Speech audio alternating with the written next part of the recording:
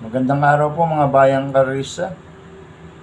Ngayon po ay araw ng Webes, January 20, 2022, karera po ng San Lazaro, Armona, Cavite. May pitong karera po tayo sa araw na ito.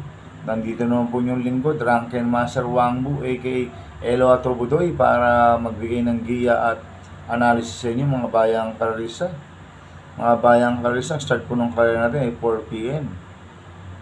Kaya start na po ako sa pagbibigay ng giya at analysis. Kaya start na po ako sa race 1. Race 1, winner take all covers races 1 to 7. May 10 kabayan tatakbo, rating basis M plus 4, 16, 21 split.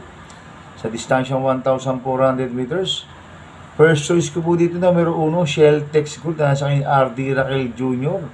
Etong si Sheltex Gold, last run, eh, third place po siya kala Nichols favorite, Irayen. Binalik ulit kay RD Raquel Jr. Lasan, sumakay po niya ni Pabs Caballero. Gamay po ni RD Raquel Jr. si Sheltex Gold. Kaya siya po first choice ko. Second choice ko po yung numero 8 Payros Queen nasa kay JB Guse. Etong si Payros Queen last run eh third place po siya kay Maki Boy Nichols favorite. Cambio Inete rin po. Binigay na po kay JB Guse last run ang sumakay po niya ni si YL Bautista. Kaya mas maganda yung tatakbo nito ngayon. Kaya siya po second choice ko. Kaya ang first choice ko po number 1, Sheltex Gold. Second choice number 8, Payros Queen. Sa race 2 po tayo, pick 6, Cobus Races 2 to 7. May 10 kabayan tatakbo, rating basis in class 4, 22, 27 split. Distansyang 1,400 meters. First choice ko po dito, yung bumaba ng rating base system, numero 4, Work From Home. Nasaan po John Paul Guse, gamay po ni John Paul yan, si Work From Home. Dito po magaling nga sa pista ng San Lazaro. Kaya siya po first choice ko. Second choice ko po numero 4, Diwaluwal, nasa kanya AR Villegas. Itong si Diwaluwal, last na second place po siya kay Forrest Gump. Medyo maganda na rin po tinakbo ni Diwaluwal last na, kaya siya po second choice ko. Third choice ko po yung numero 6, magandang diado, numero 6, Amelia, nasa kay JP Villanueva. Kaya siya po third choice ko. Kaya ang first choice ko po, numero 9, Work From Home.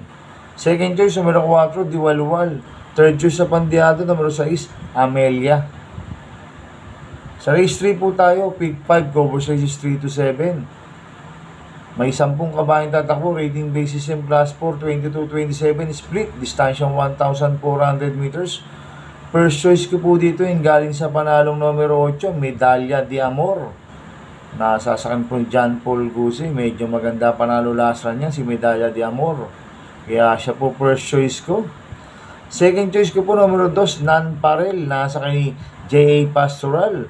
Etong si Nan Parel, last run eh, Ah, second place po siya kay Divine Success. Sinabot po siya ni Divine Success last run. Si Nan. Kaya siya po second choice ko. Third choice ko po, napandiado numero 5, Yanas Dance. Nasa kay JB Uno Hernandez. Kaya ang first choice ko po, numero 8, Medalya de Amor. Second choice, numero 2, Nan Parel. Third choice sa pandiado, numero 5, Yanas Dance. Sa race 4 po tayo, pick 4, covers races 4 to 7, may 10 kabayan tatakbo. Rating basis in class 5-5, distansyang 1,400 meters. Anybody's race po ito mga bayang kararisa. Ito po yung pinakamababang rating basis system. Kumbaga ito yung grupong bulok. Ay ang first choice ko po dito, yung bumaba ng rating base system numero 8, Shining Star. Uh, sasakyan po JD Flores. Ito, bagong baba ng grupo to. Kaya siya po first choice ko. Second choice ko po, numero 9, Silver Arrow. Nasa kay Jamie M. Storke. Itong si Silver Arrow, last run eh, third place po siya kala Freddy Wong Minotaur. Kaya siya po ang second choice ko. Kaya ang first choice ko po, numero 8, Shining Star. Second choice, numero 9, Silver Arrow. Sa race 5 po tayo. May 10 kabayan tatakbo. Rating basis in class 5, 6, and 10 split. Distansyang 1,400 meters. First choice ko po dito, numero 2, Directors Donya. Nasa kay Lester De Jesus. Itong si Directors Donya, eh, last run.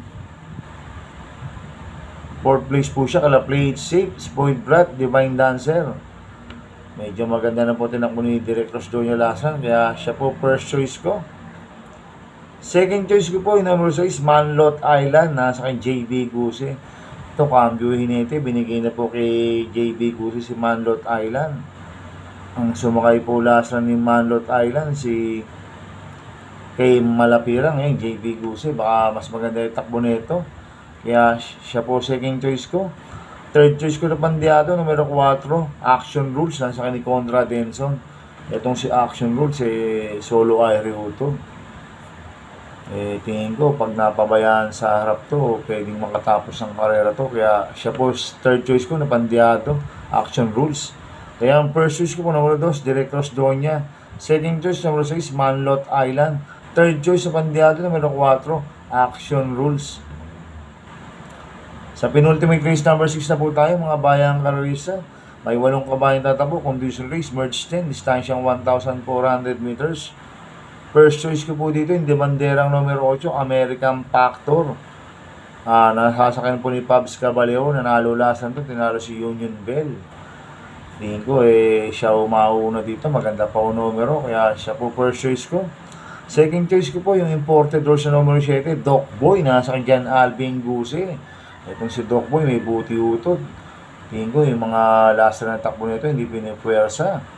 Kaya tingin ko, ito po mga kalaban ni American Factor, si Doc Boy. Kaya siya po second choice ko. Kaya ang first choice ko po, numero 8, American Factor. Second choice, numero 7, Doc Boy. Sa last race po tayo, sa race 7. May 10 kabayan tatakbo, rating basis yung plus 5, 11 to 15, split. Uh, distansyang 1,400 meters. First choice ko po dito, numero 10, Can You Give, nasa kay John Alvin Guse.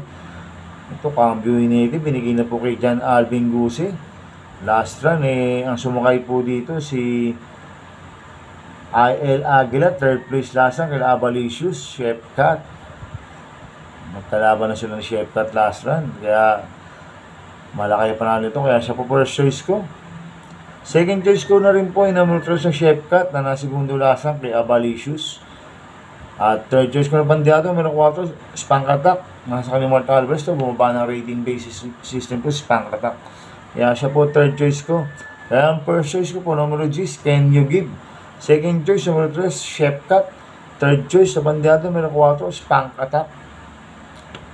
Ah, good luck and happy racing mga bayang karista. Inulit ko, ito gabay ko lang at analysis ko, pero pagdating sa tayan, kayo pa din ang masusunod. Sana ay swertein po tayo ngayon at magsitama. Kaya good luck po sa ating lahat mga bayang karista.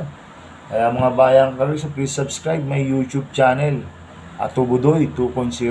Maraming salamat po and God bless.